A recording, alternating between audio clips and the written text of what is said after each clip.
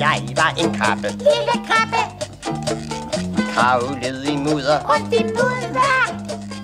Fiskene blev sure, Nå så sure havfruerne trak jeg. i halen. Mig og Bu og Bæ, Vi er brødre, oceanets hårdeste negle. negle. Men så en dag, Blev han voksen, og ville ikke lege mere. ikke mere. Mudderkrabbe, lege voksen, ikke mudderhåret drenge. Lille voksen, ikke krabbe, ikke hale rundt i mudder. Bummerdrengen var noget så flot. Og elegant.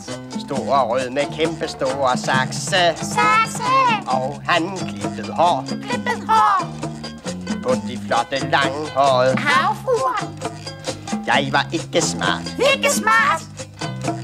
sagde en lille søtøs. En dum tøs.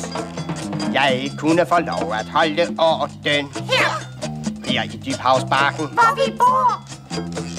Derfor må jeg gå og klippe hullerne i folkets billetter. Lægter, Jeg skal passe på, passe på. hvem der kommer ind. Og ud og hjem. Orden, klippe, stå og holde mægtig styr og dumme tøs og klippe. Tøs og klippe. Jeg huller, holde tøs og klippe. Klippe, åbne af og gætter. Nogen over. Åh, det var også galgrøn. Det må du ikke tage.